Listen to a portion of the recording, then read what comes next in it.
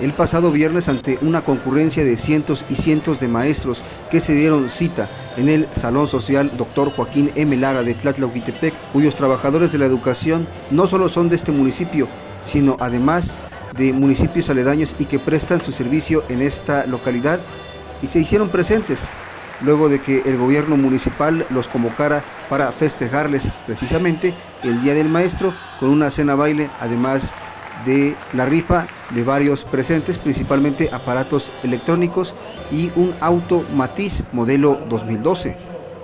El edil, durante su mensaje, reconoció la labor que emprenden a diario los trabajadores de la educación dentro de las aulas.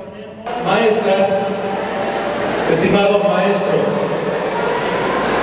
si educar es conducir y el conducir contempla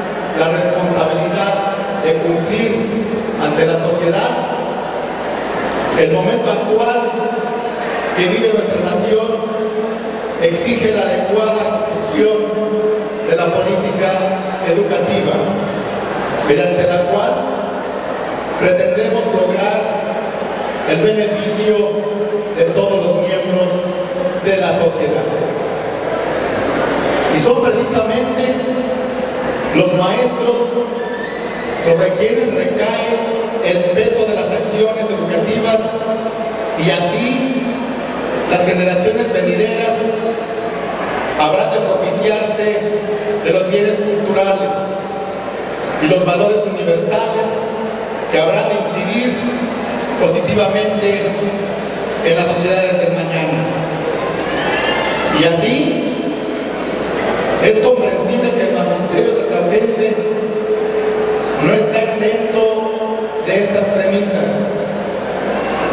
bien, tiene a cuestas estas delicadas tareas que es educar. Y hoy, que con gusto y satisfacción celebramos el día dedicado al maestro a nombre del honorable ayuntamiento que presido, deseo que su magnífica labor los acompañe todo el éxito posible y que la... Además, en este evento se hizo entrega de un reconocimiento a un destacado maestro. Y claro me refiero al profesor Germán Plata López, que fue y tuve el privilegio de que hubiera sido mi profesor y yo fui